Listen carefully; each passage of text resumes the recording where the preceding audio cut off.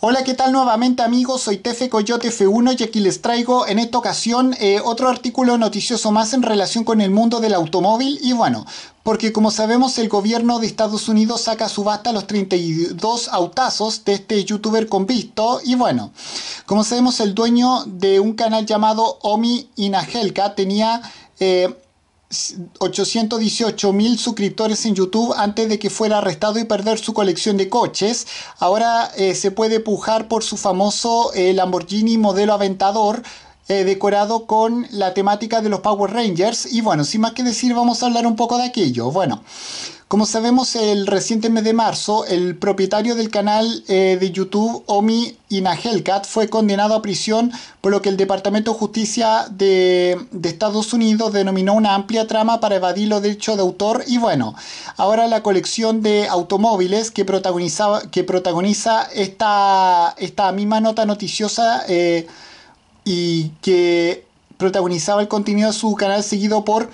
Eh, 818 mil suscriptores sale a subasta publicada por el departamento de los US Marshal y bueno, como sabemos la colección eh, cuenta cuenta con 32 automóviles, o sea, 32 coches y una docena de motos y vehículos biplaza. Y bueno, la estrella es un Lamborghini modelo Aventador envuelto con un vinilo de los Power Rangers, tal y como se puede eh, comprobar en uno de sus videos. Y bueno, otras piezas interesantes de la colección son dos Lamborghini modelo Huracán, una Cura NSX un Audi R8 B10, un eh, Chevrolet Impala SS año 1996, por supuesto, cinco, eh, cinco vehículos de Stellantis distintos pero propulsados todos por las eh, versiones del omnipresente propulsor tipo V8 Hellcat y bueno.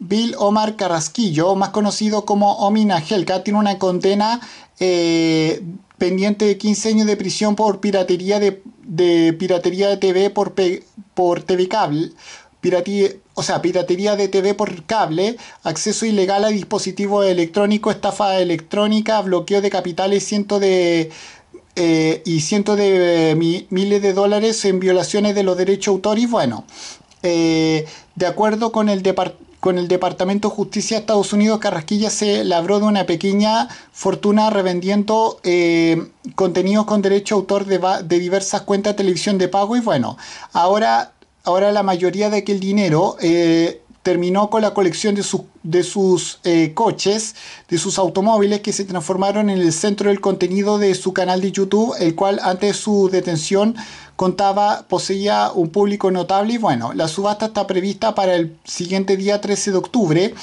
Eh, las pujas ya suelen, ya vuelan en, el sitio web del subastador cuyo enlace se encuentra aquí, eh, donde le ofrece, donde le ofrece los siete lotes que conforman la, donde los siete lotes donde lo ofrecido por los siete lotes que conforman la colección superan por mucho la bolsa su siguiente sesión de oficial de venta. Y bueno, con esto me despido. Adiós, que me fuera. Chao.